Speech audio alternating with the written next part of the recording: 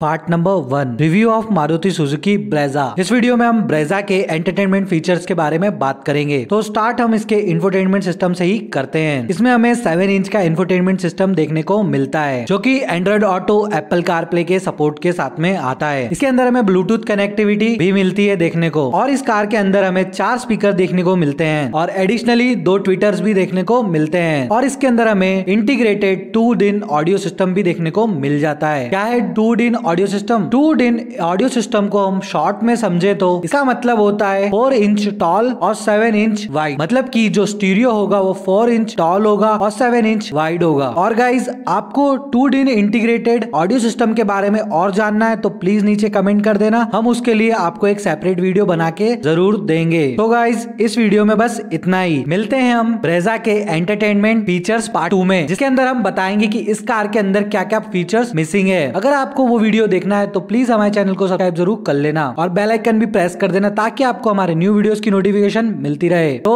मिलते हम next video में thanks for watching this video